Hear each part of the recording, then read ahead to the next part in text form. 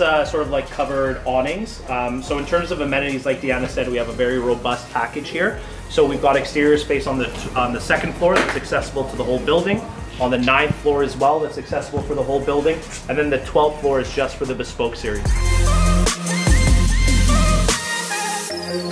When the difference of price between land and condo is astronomical, you know it's worth it to buy condos.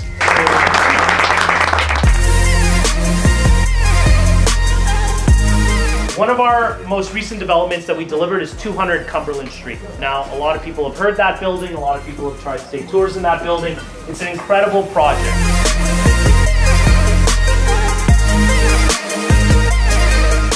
I am honored and humbled by the amount of talent that is in this room right now. I literally have goosebumps and I thank you for being here.